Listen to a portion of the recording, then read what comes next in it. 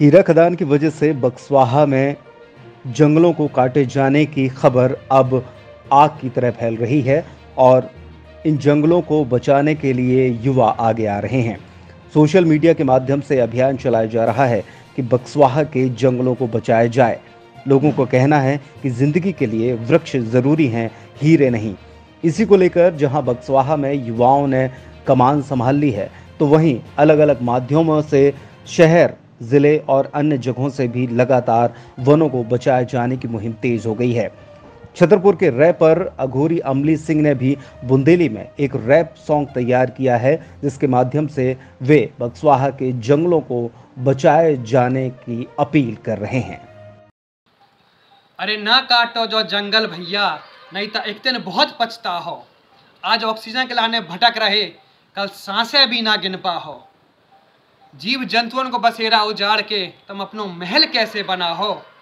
जो हीरा खोदत खोदत एक दिन मिट्टी में मिल जाओ नदियन से तुम्हें बजरी चाने, पहाड़न से तुम्हें गिट्टी, जंगल से तुम्हें लकड़ी चाने, धरती सागर से हीरा मोती। तबई तूफ़ान और बाढ़ें आ रही, धरती मैया डगमग हो रही। कुदरत की जे बादत तुम्हें तनक समझ नहीं आ रही। कुदरत से तुम भिड़वे जा रहे पर भाग ना पाओ मिंटन में। कुदरत से तुम भिड़वे जा रहे पर भाग ना पाओ मिंटन में। ऊपर वाले को चक्र ऐसे चल है कि मौत आ है सेकंडन में। अघोरी अमली जन जन से, करे जही पुकार। बचा लो भैया कुदरत को, जो अमूल्य उपहार। बचा लो भैया कुदरत को, जो अमूल्य उपहार। नमस्कार, मैं हूँ अघोरी अमली सिंह। और अभी बक्सवाहा के जंगलों में पेड़ काटे जा रहे हैं की विषय आया है सामने।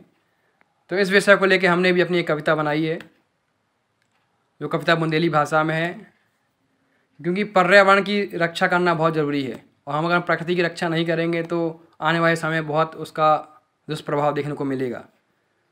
अभी आप देख रहे हैं ऑक्सीजन की कितनी समस्या हो रही है और बुंदेलखंड तो वैसे ही पानी की समस्या जूझता रहता है। अगर पेड़ नहीं रहेंगे तो वर्षा कैसे होगी?